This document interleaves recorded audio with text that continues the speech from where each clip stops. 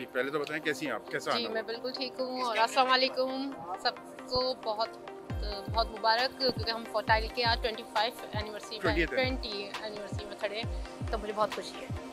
आपका फुटाइल के साथ एक्सपीरियंस कैसे रहा और किस तरह से रिलेशन बना देखिए मेरा रिलेशन जो है मसाला टी से बना क्योंकि मैं वहाँ यूज़ करती थी और सबसे ज़्यादा मैं बेकिंग करती हूँ तो मुझे जो इनका अवन है वो बहुत अच्छा लगता है और बहुत अच्छी मेरी बेकिंग है।